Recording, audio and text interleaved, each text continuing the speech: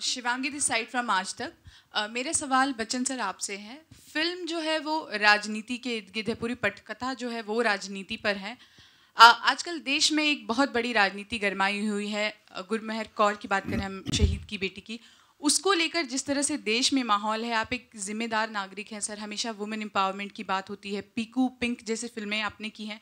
जब इस तरह की घटना होती है तो एक नागरिक होने के नाते सर आप कैसा महसूस करते हैं? जो मैं महसूस करता हूँ वो मेरा व्यक्तिगत विचार होगा। आपसे कहूँगा सार्वजनिक हो जाएगा। नमस्कार। शुक्रिया सर।